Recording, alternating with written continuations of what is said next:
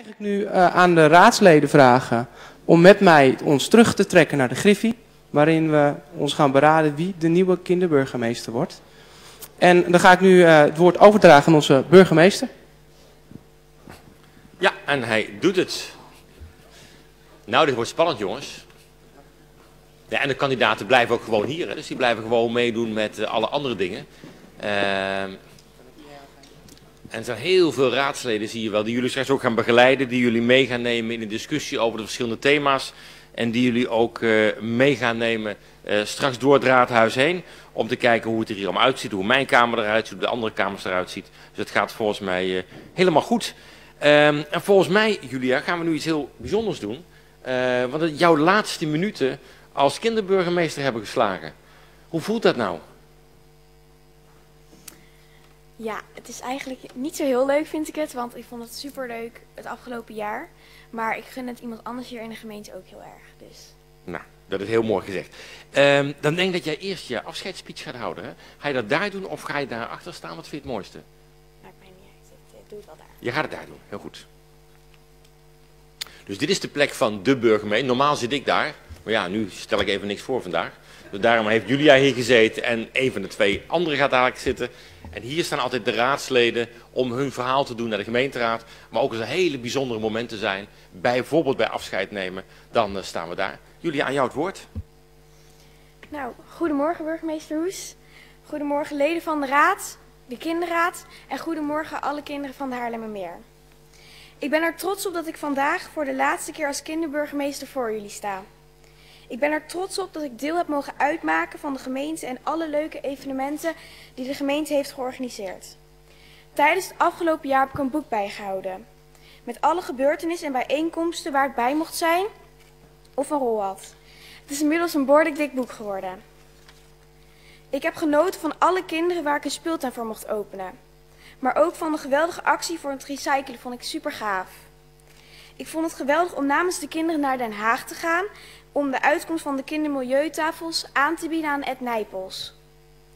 De meest bijzondere dag vond ik het meelopen met burgemeester Hoes. Het is super interessant om te zien hoe het er bij de echte burgemeester aan toe gaat en wie er allemaal een rol spelen in de gemeente. Nu gaan burgemeester Hoes en ik samen afscheid nemen. Hij gaat misschien verder in de politiek en ik ga naar de middelbare school. Beste Onno, als je me nodig hebt kun je me altijd bellen. Tot slot wil ik nog iets zeggen tegen alle kinderen. Ik ben hetzelfde begonnen als jullie hier allemaal. Een leuk project op school. Of je nou een kinderburgemeesterkandidaat bent of een van de leden van je groepje, ik denk dat jullie het allemaal wel spannend vinden. Dat vond ik ook, maar er is één ding wat je altijd moet onthouden. Of je nou gekozen wordt tot kinderburgemeester of niet, blijf altijd in jezelf geloven. Hetzelfde als je hier met je groepje zit. Blijf in jezelf, maar ook in de andere leden van je groepje geloven. Jullie ideeën maken het verschil in de Haarlemmermeer. Bedankt allemaal voor dit geweldige jaar en hopelijk zien we elkaar over enkele jaren terug hier in raadzaal.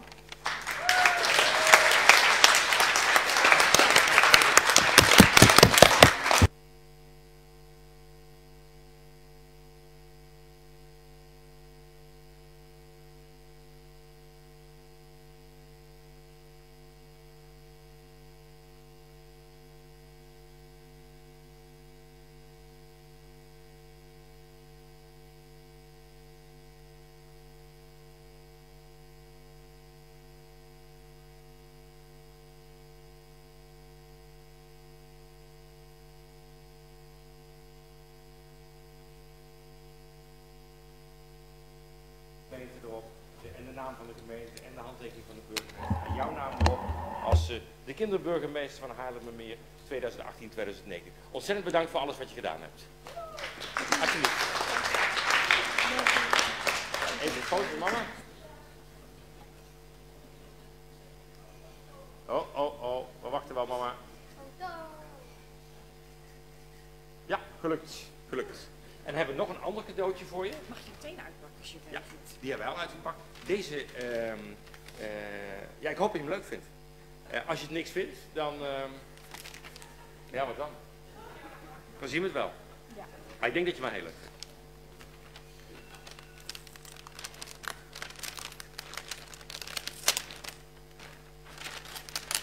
Normaal mogen kinderen alles schuren, maar een burgemeester mag dat niet. Je moet heel voorzichtig doen.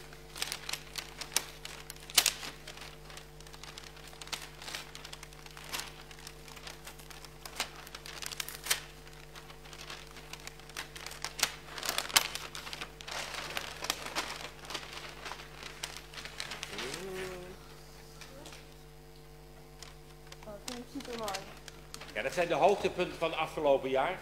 Uh, waarbij je hier ziet hoe de, hoe de ambtsketen werd, uh, werd omgedaan. Hier hebben we de, samen de vlag gehesen. Hier hebben we de, op de boomfeestdag samen boom geplant. Hier heb je je bankje gekregen. Een heel bijzonder moment dat je een bankje kreeg in de gemeente. Voor eeuwig. Dit weet ik niet waar het is. Ook heel leuk. en dit is met... Met je moeder of niet? Ja. Ja, nou, helemaal goed. Dus heb je hele mooie herinneringen volgens mij. God, en die moeder maar foto's maken. Dus de moeders van de nieuwe kinderburgemeester weten wat hun te wachten staat. en nogmaals ontzettend bedankt. Eh, ik denk dat het goed is voor jullie om te weten, zowel voor de twee kandidaten nu, maar ook voor de rest. Eh, dat overal waar we samenkwamen of waar jij was, eh, dat mensen het ook heel leuk vinden.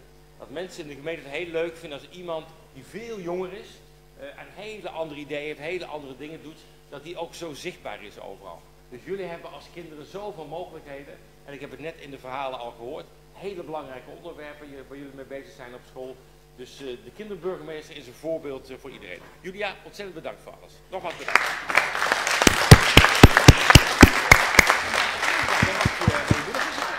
Oh, dan moet ik de... Um, ja, nu moeten we de ambtsketen eigenlijk afdoen, hè?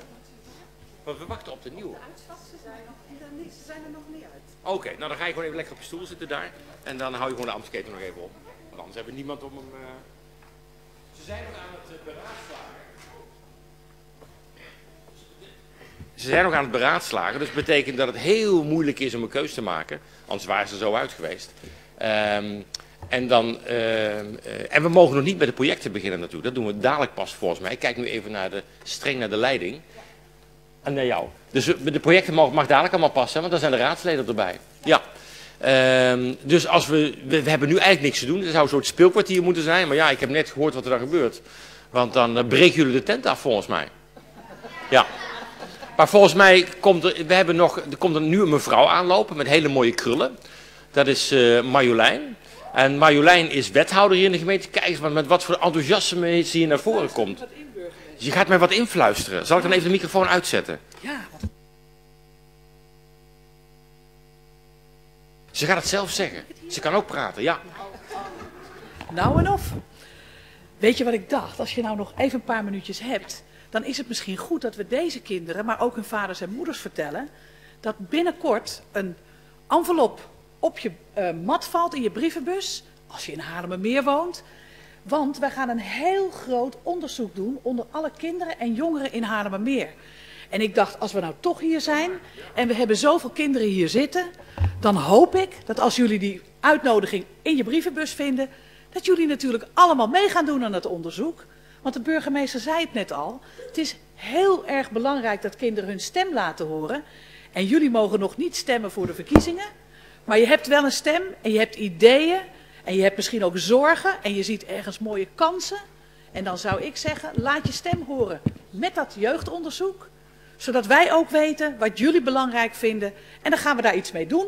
Want we gaan niet alleen maar je stem ophalen en dan zeggen, nou bedankt. En leggen we het boekje weer weg. We gaan echt jeugdbeleid maken op basis van de zaken die kinderen ons aandragen. Dus ja, die oproep wou ik even doen als je toch een paar minuutjes over had. Uh, nou, we hebben vorige keer, want we hebben dit al eerder gedaan, hebben, we, hebben kinderen hun dromen verteld. Ze hebben bijvoorbeeld verteld uh, waar ze heel veel zorgen over hadden. En ik hoorde net al een van de kandidaat kinderburgemeesters praten ook over pesten op school. En wat wij hebben gedaan met al die dromen en zorgen, zijn we nog met meer kinderen gaan praten. En toen hebben we afspraken gemaakt met de scholen over hoe we met pesten omgaan. En hebben we dat anders aangepakt op jullie eigen advies. Maar bijvoorbeeld ook kinderen die zeiden, ja, mijn ouders gaan scheiden. En dat vind ik heel vervelend. Maar dan wil ik eigenlijk wel iemand die ook naar mij luistert. Nou, daar hebben we in de gemeente ook een oplossing voor gevonden. Dat er kinderen zijn, grote kinderen, zeg maar even, die jonge kinderen helpen als dat gebeurt. En daarom is het heel belangrijk dat jullie vertellen wat je belangrijk vindt, want dan kunnen we er wat mee doen. Ze komen eraan. Dus ik mag weg. En jullie eh, gaan denk ik heel spannende paar minuten tegemoet.